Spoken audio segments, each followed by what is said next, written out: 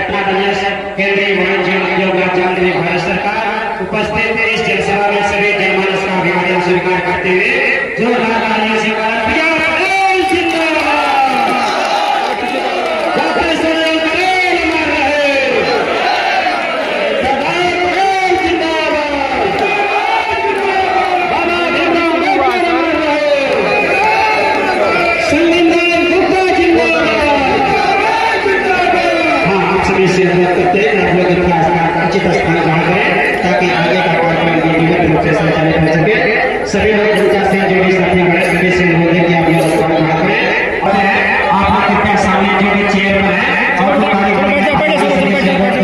दादाजी आपका क्या नाम है? राम प्रताप वर्मा उर्फ़ भगत कहाँ से आए दादा ग्राम सभा ये टोपी लगाए हो अपना दल की? क्या राज है? राज ये है कि अपना दल और भाजपा का गठबंधन है तो ये पूरे भाजपा है सर पे टोपी अपना दल देख रहे हैं इतना जितने कार्यकर्ता आए थे अपना दल के सबसे ज़्यादा जोश आपके अंदर है। है ये है हमारे संगठन का एक अगुआ सम्मानित नेता और एक मंत्री पूरे संगठन का अगुआ आया है तो जोश रहा करे तो दादाजी कितना लग रहा है उम्मीद है कि कौन निकल रहा है? और ये भैया ये हम पूछे बा हम सब के सब जीत ले है बाटे। तो जो एस पी सिंह पटेल जी आए हैं वो कहाँ जा रहे हैं? अरे पटेल रहन की भैया का वहे तीन दाई एमएलसी रहन का तो बताइए प्रतापगढ़ में हाँ, जब के हो बता दे ही। के है हम सब जा देखियो। हम सब हाँ हम सब जा देखियो प्रतापगढ़ हम किस नंबर पे आएँगे सपा का भी कुछ वोट होगा। भैया हो हम आपन कहली हम दूसरे का काहे पोथी उल्टी? हम अपन कहली हम जीतत बाटे भाजपा अपना दल नौ काल बुलडोजर बाबा आए रहे आज अनुप्रिया जी आई गई तो हम जीतत है ये हमारे संकल्प बा।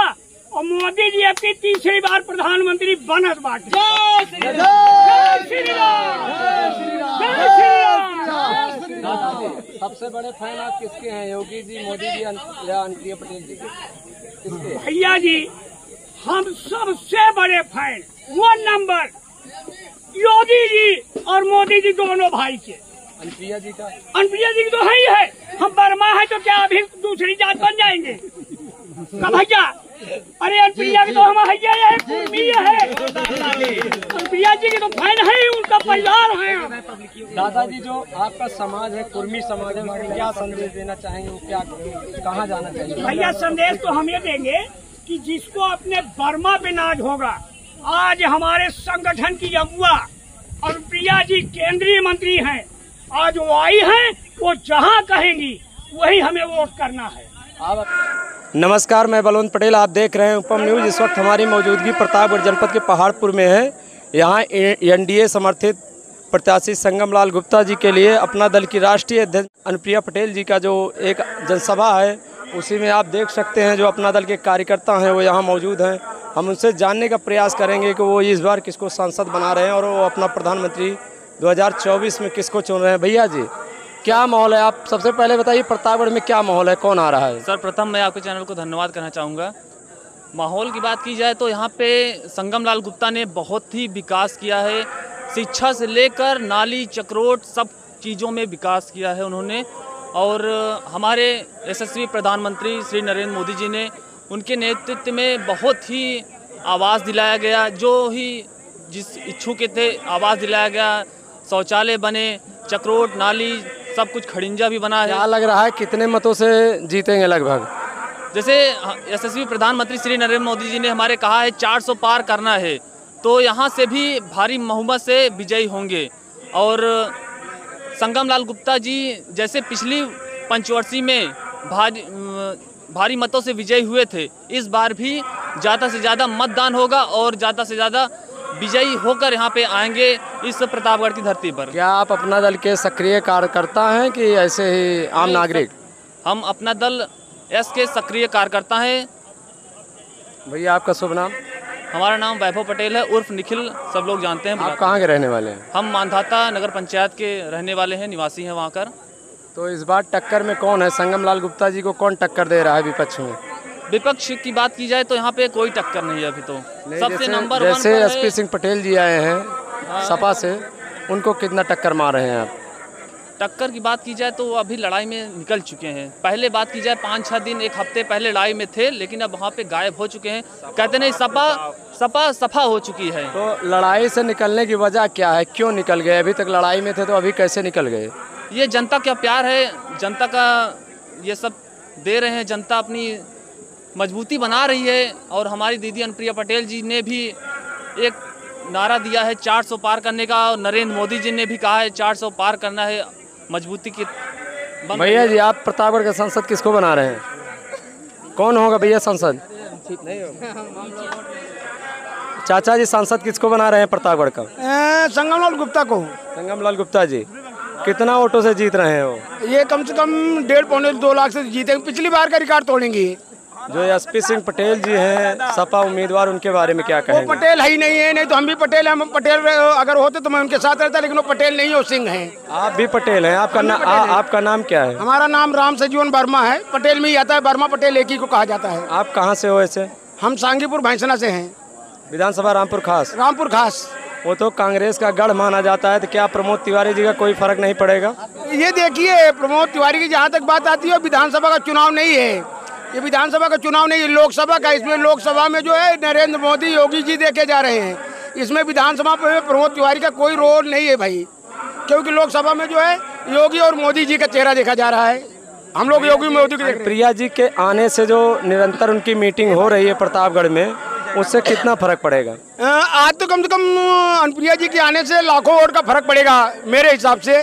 जो वर्मा बिरादरी जो इधर उधर भटक रहा था आज से जो है सीधे लाइन पे भाजपा के लिए काम करेगा जो भी समाज के लोग इधर उधर थे। सुनने के लिए मिलता है कि जो एसपी सिंह पटेल जी हैं साठ परसेंट कुर्मी बिरादर का जो टिक वो मतलब बंटवारा कर रहे हैं वोटों में क्या लगता है कितना काटेंगे वोट? नहीं नहीं नहीं वो वो दो बिरादरी का वोट ले रहे हैं जिसमें से एक बिरादरी में भी हमारा फिफ्टी फिफ्टी है और वर्मा समाज की जहाँ तक बात है वर्मा तो हमको लगता है जो इधर उधर के लोग हैं दलाल टाइप वही लोग जो वोट दे रहे हैं बाकी किसान और वो नवयुक्त नहीं दे रहे भाई मेरे ख्याल से। तो लगभग कितनी सीटें निकल रही हैं भारत में? ए, भारत में भैया जो नरेंद्र मोदी जी जो कहते हैं वही होता है चार सौ पार होगा। भैया जी आपका अपना परिचय बताइए, आप कहाँ से जी हमारा नाम विमलेश पटेल है, विश्वनाथगंज विधायक आदरणीय जीतलाल पटेल जी के हम भांजे हैं। आज हमारी राष्ट्रीय अध्यक्ष अपना दल एस की बहन अनुप्रिया पटेल जी का आगमन हो रहा है, इस पहाड़पुर की पावन धरती पर। हम लोग उत्सुक हैं, हम लोगों को बहुत खुशी है कि हमारी राष्ट्रीय अध्यक्ष जी का आज आगमन हो रहा है, सभी कार्यकर्ता बहुत खुश हैं, सभी लोग मजबूती से संगमलाल जी के साथ जुड़े हुए हैं। संगम लाल जी यहाँ से लगभग डेढ़ लाख वोटों से जीतने जा रहे हैं कोई टक्कर में नहीं। और रही बात पटेल की पटेल 80 परसेंट पटेल संगम लाल को वोट दे रहे हैं बीस में बंटवारा है अदर पटेलों का जो डैमेज कंट्रोल कैसे किया जाएगा जो कुछ कट रहे हैं उनको कैसे कंट्रोल किया नहीं नहीं कटने वाली कोई बात नहीं जो दलाल टाइप है वही कट रहे हैं। बाकी 80 परसेंट पटेल जो हैं वो अपना दल एस पार्टी अनुप्रिया पटेल को देखते हुए श्री संगम लाल गुप्ता जी को वोट करने जा रहे हैं। एक शुरुआत में एक नारा चला था बीजेपी के ही कुछ नेता लगाए थे कि मोदी मोदी से मेरी बैर नहीं संगम तेरी खैर नहीं, नहीं, क्या उसका अभी वर्तमान समय में कुछ असर कोई पड़ेगा? असर नहीं ये सब विपक्ष का जो होता है कुछ ना कुछ फर्जी यही सब वीडियो वीडियो वायरल करते रहते हैं उनके पास कोई मुद्दा है नहीं। शिक्षा की बात की जाए विकास की बात की जाए बहुत आगे हमारे माननीय प्रधानमंत्री नरेंद्र मोदी जी ने देश को आगे बढ़ाया है। आज विदेशों में हमारे नेता प्रधानमंत्री जी पहचान है भैया जी प्रतापगढ़ का सांसद किसको बना रहे हैं भैया कौन बनेगा सांसद ठीक है श्री संगम लाल गुप्ता बन रहे हैं भाई प्रतापगढ़ का सांसद कौन होगा भैया संगम लाल गुप्ता होंगे या कौन होगा? संगम लाल गुप्ता जी। बिल्कुल। और एस पी सिंह पटेल जी कहाँ जाएँगे? अरे वो तो बाहर के हैं यहाँ के थोड़ी हैं बाहर में प्रमोद जी के वही लेकर तौलेंगे घूमेंगे उनके पीछे और क्या?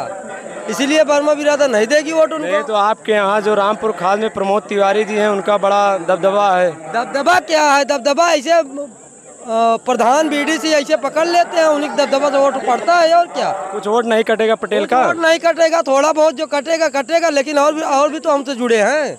आप रामपुर खास से हो बहुत करीबी हो वहाँ के तो आपके यहाँ तो विकास बहुत ज़्यादा हुआ होगा। दबदबा है जो उनके विरोध में जाएगा उनके ऊपर मुकदमा होगा बस। क्या आपके ऊपर हुआ है क्या? वजह से इनके पीछे सब लगते हैं। पटेल बिरादर तो बहुत साथ होंगे कांग्रेस में। कुछ नहीं साथ है हमारे पर खुदा ही हर जनरेटर लगा है यही लोग लगवाए हैं। दूसरा कोई थोड़ी लगवाया है ताकि हमारे पीछे लगे रहे। भैया आप तो लालगंज के अंतर्गत आते हो फिर भी। लालगंज के अंतर्गत आते हैं हमारे ऊपर हर जनरेटर लगा है। ऐसे कांग्रेस लोग लगवाए कोई दूसरा थोड़ी लगवाया यही होता है।